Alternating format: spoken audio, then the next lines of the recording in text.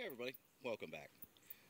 I just uh, wanted to do a video response for one of my older videos, um, roses, about how all roses are edible. And I had mentioned to you that they also form a fruit called a hip.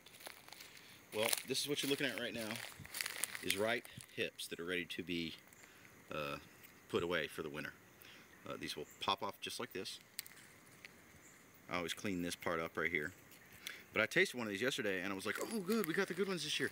Um, normally they're very astringent and nasty, but um, you know, they're survival food. They're extremely high source of vitamin C. They'll get you by in a pinch. The um, people in the Donner Party, even when you got them like this, when they're old and dry, they'll still make a tea. So uh, these can be found midwinter, anytime like that. Let's just have a look at that. Uh, that's a beautiful hip. These are uh, for you guys that like to make infusions, like uh, like uh, Mitch at, at Native Survival. These th these right here are, are, great for fending off scurvy and uh, you know colds and stuff like that.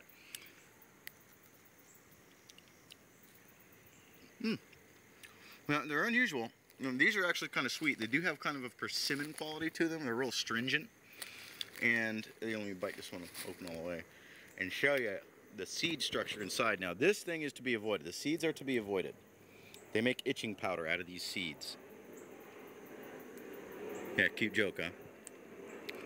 But those uh, seeds are not what you want. You want that layer of flesh around. Oh boy, those are nasty. But they're hard and they'll crack your teeth. So you don't just bite all the way through one. You know, you want to eat the flesh off of it. And this is about what they look like when they're uh, ready to be harvested. Though these can wait a little while. Got a little bit. I like the color, the red color into this fat one right here. Be real nice. And just a little bit of honey and some boiling water, and you've got yourself a life-sustaining drink.